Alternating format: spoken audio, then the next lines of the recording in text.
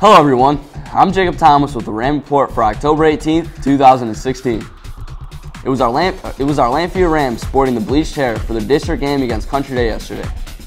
Let's pick up action in the first half with LHS down a goal. Cam Harrison isn't going down without a fight. Harrison battles his way through the Country Day defense and drills a shot home, tying the game at one. Then just about a minute later, Harrison dishes a sweet through ball to Logan Smith, but Smith just overshoots the top shelf, keeping the game tied. Then with 40 seconds left in the game, Country Day gets a corner kick and through the chaos, the Yellow Jacket breaks from the hive and stings the Rams with a game winner. Final score, Country Day 2, Lamphere 1.